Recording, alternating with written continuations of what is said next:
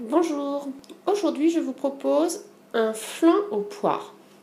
Donc pour ce faire, il vous faut un rouleau de pâte brisée, 4 œufs, 200 ml de lait de coco, l'équivalent de 4 poires coupées grossièrement, 100 g de farine et 100 g de sucre. On va commencer par mettre la pâte dans un plat assez profond parce que les flancs, c'est quand même relativement épais. Quand vous l'avez mis dans le fond de plat, vous prenez une fourchette et vous allez la piquer. Voilà.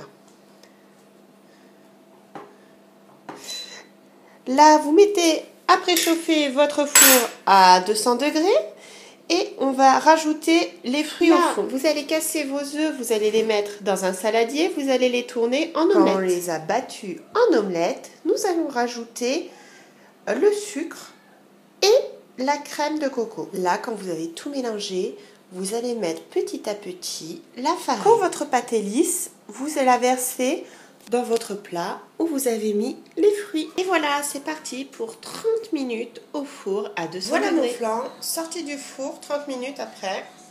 On va le laisser refroidir et après on le mangera. Et voilà mon flan coco poire qui est prêt. Bon appétit